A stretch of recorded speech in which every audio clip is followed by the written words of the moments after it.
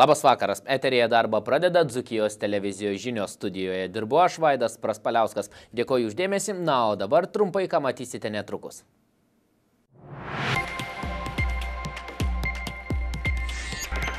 Netrukus žiniuose. Jotvingių gatvėje paleistas automobilių eismas. Eismas atidarytas, aišku, kelio ženklai stovi, informuojama, kad kelio darbai vyksta. E, būkite, kaip tas sako, budrūs. Mokslininkai pasiūlė nemalonių kvapų pirmajame Alituje panaikinimo būdus. Pabėgti nuo problemos apvedant spaudimo liniją iš pirmojo Lietuvos zonos.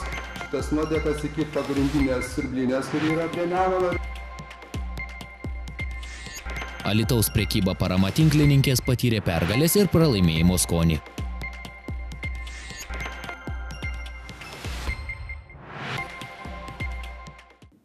Metus trunkantis darbai Jotvingių gatvėje eina į pabaigą. Šiandien pagaliau paleistas eismas, o iki metų pabaigos ketinama užbaigti visus darbus. Plačiau apie tai netrukus. Alitaus skaudulys eismas remontuojama Jotvingių gatvėje pagaliau panaikintas. Nors buvo žadėta, jog eismas bus paleistas dar spalio 22 dieną, tai padaryta šiandien. Nors kliučių dar yra, tačiau vairuotojų gali nesukti rato aplinkiniais keliais, o važiuoti tiesiai pagrindinę gatvę.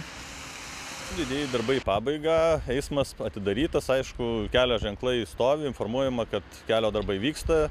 E, būkite, kaip tas sako, budrūs, vis tiek ir technika, ir žmonės dirba šitam objekte, taip kad eismas paleistas šiai dienai. Spaudimas ir, ir valdžios, ir verslininkų, tikrai mes tą jautėm, tikrai matėm, kad mums sunkiai sekasi šitoj, šitoj zonoje dirbti, nes ir visokie trukdžiai, papildomi darbai mums sutrukdė, nu, bet, bet, bet finišo tiesioji matyti. Visus Jotvingių gatvės rekonstrukcijos darbus planuojama baigti iki šių metų pabaigos.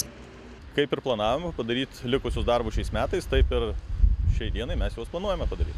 Tai kokie tie dar likusie darbai? Šaligatviai ar mažo infrastruktūra? Kaip ir jūs sako, tai šaligatviai, tai gėlynai, tai žalios vejos, tai mažo architektūra, nu, šie darbai bus padaryti šiais metais. Vietos verslininkai įsikūrė Jotvingių gatvėje taip pat džiaugiasi, jog pagaliau jie galės stotis ant kojų. Be abejo, kad džiaugiamės. Šiek tiek, aišku, vis tiek tas terminas buvo žadėtas 23, bet labai dabar džiaugiamės, kad ta gatvė bus pagaliau atidaryta ir mes tikrai laukiam ir kviečiam visus žmonės, kurie buvo mūsų pirkėjai ir negalėjo dėl to trukdžio atvažiuoti. Tikrai mes prigaminę ir gėlių, ir jų laukiam. Be abejo, padėjo viešumas ir tikrai didelį ačiū turiu paramos rangovam, kad jie pagaliau išgirdo mūsų tą tikrai bėdą. Jotvingių gatvės remonto darbai jau trunka metus. Viktorija Ražukaitė, Marius Šagunevičius, Dzukijos televizija. Mokslininkai miesto savivaldybės tarybai ir administracijai pristatė pirmojo Alitaus teritorijoje iš miesto kanalizacijos klindančių kvapų tikslės priežastis. Pateikė moksliškai pagristus šios problemos sprendimo kvapų panaikinimo būdus. Gera naujiena pirmojo Lietuvos gyventojams, net keletą metų kentusiems nemalonius kvapus, kurie periodiškai tai sumažėja, tai suintensyvėja. Mokslininkai miesto savivaldybės tarybai ir administracijai pristatė pirmojo Lietuvos teritorijoje iš miesto kanalizacijos sklindančių kvapų tikslės priežastis, pateikė moksliškai pagristus šios problemos sprendimo kvapų panaikinimo būdus. Pateikta keletas variantų. Vienas jų nuo pirmojo Lietuvos iki valymo įrengimų upelio gatvėje spaudiminės linijos įrengimas. Mes siūlėme ir kitą idėją pabėgti nuo problemos apvedant spaudimo liniją iš pirmojo Lietuvos zonos. Šitas nuotekas iki pagrindinės sirblinės, kuri yra prie Nemuno ir padavinėjant į valymo įrenginius uždaruoju būdu. Jeigu tuomet kažkokia kvapų problema kiltų, tai ją lengvai galima sutvarkyti jau pačios siurblinės zonoj. Iš to tyrimo mes susidarėm būtent tokį vaizdą, kad perkoletas yra kalčiausias. Tai yra tas vanduo, kuris eilę kartų pilamas ant pūvančių atliekų ir vėliausiai na, tiesiog labai prisisodrina tų a, organinių medžiagų ir jisai turi labai specifinį ir labai aštrų kvapą. Vienas iš mokslininkų pasiūlymų - statyti lokalius valymo įrengimus, tačiau šie procesai užtruktų net keletą metų. Greičiausias būdas - dalį susidarančių nuotekų savartynę vežti į valymo įrenginius. Kalbant apie ilgalaikę perspektyvą, tai turbūt reikėtų vis tiek kažkokių valymo renginių ateityje, bet kaip išgirdome šiandieną, tas užtruktų porą metų ir galbūt ir ilgiau.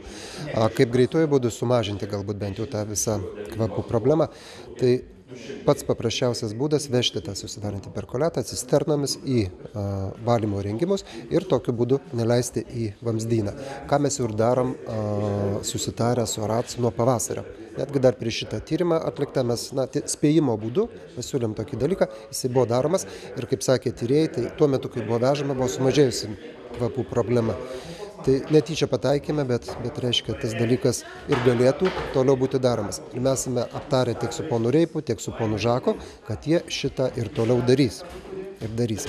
Tai dabar čia klausimas tiesiog atsakomybės vadovų, na, aš turiu menį būtent Ratso vadovą, ar tikrai visas tas perkoletas susidaręs bus būtent cisternomis išvežamas ir ar nesusidaro atveju, kai jis iš kažkokio rezervaro netyčia patenka vis tik tai sistemą.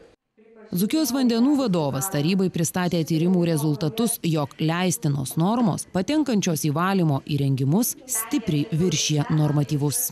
Bendras azotas vėl labai svarbus dalykas, vėlgi matome, kad galima čia iki 100 mg litrę priimti. Mes leidome, kadangi vis dėlto tai yra atliekų tvarkymo centras, leidome išleisti 800 mg litrę. Tačiau iš šito centro išteka apie 2000 mg litrę ir azotas mums irgi valykla praktiškai ant ribos yra. Jeigu dar vienas taršus vartotojas, kągi, reiškia, nemonas gautų biogeninių medžiagų porciją, gal prasidėtų nemone kažkokį procesą žydėjimo. Kokia jūsų nuomonė dėl to vamžio, kaip minėjo, kad jeigu nutiest Sprendimas be abejo galimas, pirmo Alitaus miesto gyventojai, sakykime, nepajustų kvapų, bet galbūt pajustų tiesiog vėjo atnešamus kvapus nuo to objekto. Mes perduotum tą taršą kvapus tiesiog toliau kur toliau Upelio gatvėje į miesto centrą, į senamestį.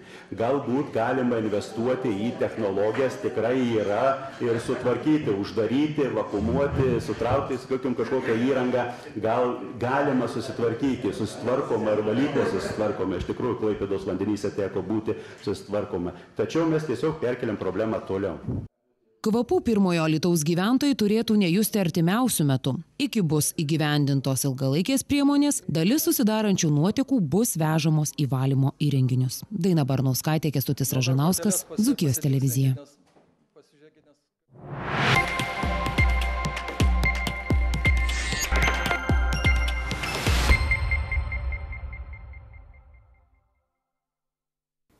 Žinių eteryje atėjo metas kriminalinių įvykių apžvalgai.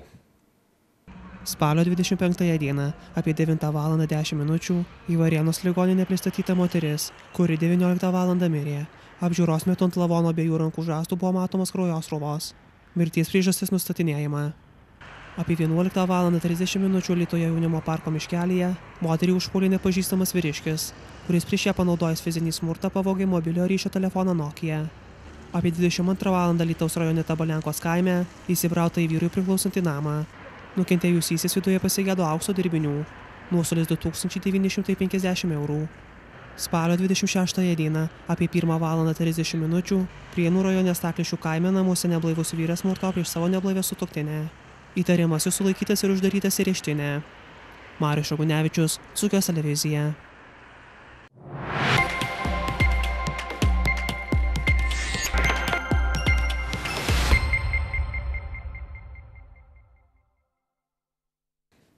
Alitaus prekyba parama tinklininkės Estijoje sužaidė dviejas rungtynes. Joms teko patirti tiek pergalės, tiek pirmo sezono pralaimėjimo skonį. Plačiau apie tai netrukus. Alitaus prekybos paramos tinklininkės Estijoje sužaidė dviejas Baltijos lygos moterų tinklinio čempionato varžybas. Jų priešininkėmis tapo dvi Talino komandos. Pirmose varžybose Lietiškė sausų rezultatu 3-0 įvykė Talino TTU Treithauso ekipą. 17 taškų Lietiškiams pelnė Viktorija Jelemenčiuk, po 10 surinko Tautvilė Grinkevičiūtė ir Natalija Bakūn. Kitas rungtynės Alitaus prekybos paramos tinklininkė žaidė prieš Talino Ulikul komandą. Alitiškis neradė savojo žaidimo turėjo pripažinti šeimininkių pranašumą rezultatu 0-3. Šį kartą rezultatyviausiai žaidė dvi lietuvės - Agnė Daunytė pelniusi 12 taškų ir Tautvilė Grinkevičiūtė pridėjusi 11 taškų. Kitas Baltijos lygos rungtynės Alitiškis žais namie lapkričio ketvirtą penktą dieną tinklinio centre kur priims pernykštės vicečempionės Estijos Kochilos komandą ir TU Iden ekipą. Marius Šagunevičius, Zukijos televizija.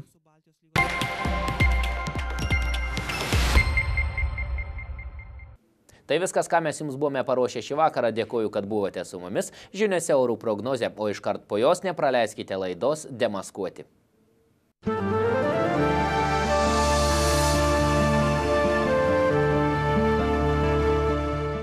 Rubrika remia Sumani TV, naujos kartos Seagates televizija.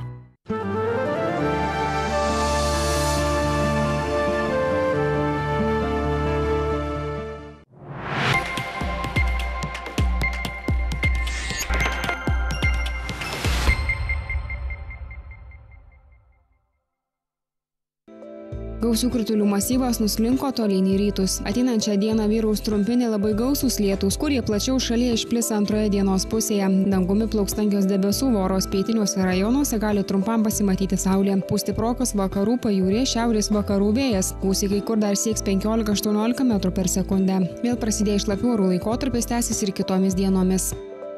Artimiausią naktį Lietuvoje ir Vilniuje bus 2, Kaune 3, Klaipėda 6 laipsniai šilumos.